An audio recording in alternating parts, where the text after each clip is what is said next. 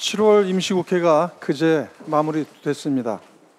이번 7월 국회는 21대 국회가 일하는 국회, 구체적 민생 성과를 도출하는 국회로 나아갈 수 있을 것인지 여부를 판별할 중요한 시험대였습니다. 대단히 유감스러운 것은 미래통합당이 7월 임시회에서 마지막까지 색깔론과 국정 발목 잡기에만 매달렸다는 것입니다.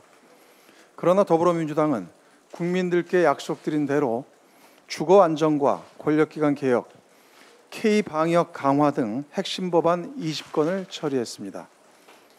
특히 총 13건에 달하는 종합적 입법 대책을 통해 주택시장 안정과 정상화를 위한 제도적인 기반이 마련됐다고 생각합니다.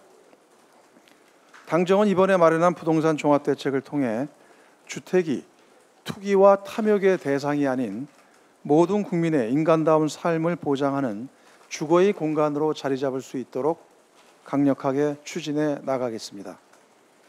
특히 국민의 삶을 파괴하고 공동체를 위협하는 부동산 투기 광풍을 이번만큼은 바로잡을 수 있도록 단호하게 대처해 나갈 것입니다.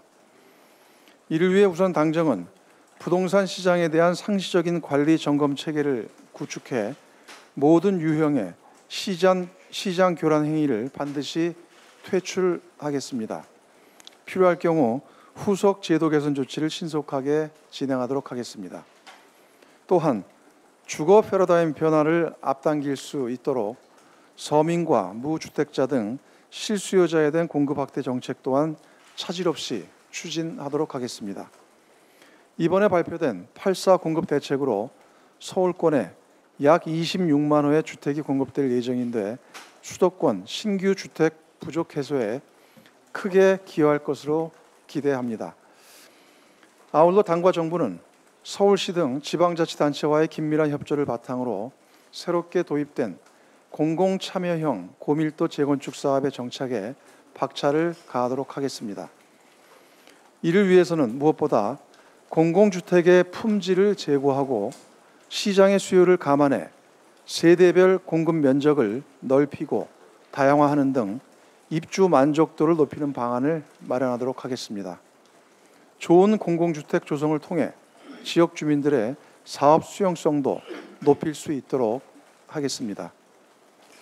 또한 서울 재건축 지역의 시범단지 발굴을 신속하게 진행해 공공참여형 고밀도 재건축 사업이 모범적으로 착근되고 확산될 수 있도록 추진하겠습니다. 이에 필요한 도시 및 주거 환경 정비법 등 후속 입법도 조속히 추진하겠습니다. 당정은 주택 시장의 안정과 투기를 근절하고 부동산 시장이 정상을 되찾을 때까지 총력을 다하겠습니다.